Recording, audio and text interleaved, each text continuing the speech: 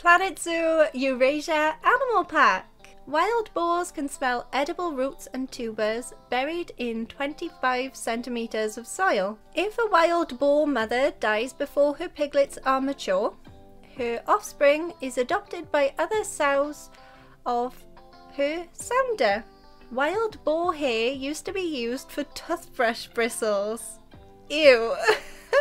the wild boar's main predator is the grey wolf. The wild boar has poor eyesight but compensates with its excellent sense of smell and hearing.